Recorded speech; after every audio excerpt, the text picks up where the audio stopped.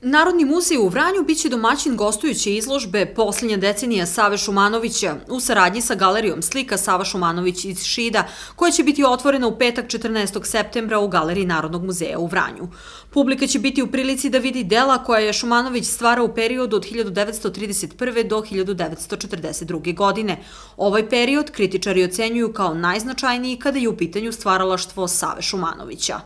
Želim da kažem da smo prošle godine e, pokrenuli kažemo, jednu lepu e, prigodnu manifestaciju ili e, ovaj, jednu izložbu kada je u Vranju gostovala galeriji Sombora Milan Konjević ovaj, gde smo se rodila jedna ideja da to postane tradicionalno dešavanje u gradu, tada smo nazvali Velikani u Vranju i pod pokretejstvom grada Vranje Republike Srbije prošle godine smo ugostili 40 dela iz Sombora, velikog našeg proslavljenog autora.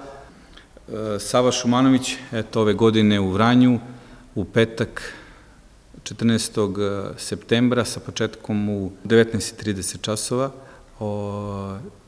Želim samo da pozovem sve naše sugrađene, jer je ovako jedna velika, velika, lepa, redka prilika i jedan veliki umetnik, jedan od velikana, istinskih velikana srpske likovne umetnosti. Poslednja dekada stvaralaštva Save Šumanovića odlikuje se aktovima, pejzažima i dečim portretima. Karakteristično za njega je i da je sam pravio svoje boje. O stvaralaštvu ovog vrsnog umetnika govorila je Mirjana Jovanović, kustos Galerije Narodnog muzeja u Vranju. On je e, objasnio svojim rečima da je njegovo slikarstvo nastalo njegovom borbom, e, bez obzira što je on pratio i utice tih savremenika u Parizu i utice savremenika u zemlji, on je stvarao, trudio se da stvori svoj stil, sobstveni stil, a onda nazvao stvaram kako umem i kako znam. Zna, to je njegov stil koji nije pod uticajem ni akademizma, ni uticaje savremenog, stvorio je sobstveni stil, takođe stvorio sobstveni stil i kad je radio pejzaž pejzaže.